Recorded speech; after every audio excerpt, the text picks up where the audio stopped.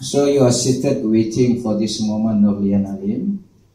I'm sure it has been a long wait for you. Correct? How long is that? Wait for this moment. How long you wait for this moment?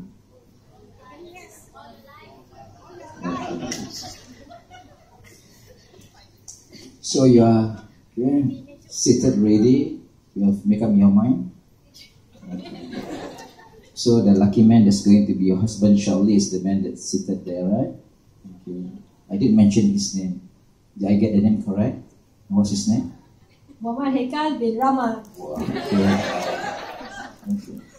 You want to ask him to turn and see? Okay. Very sure from behind.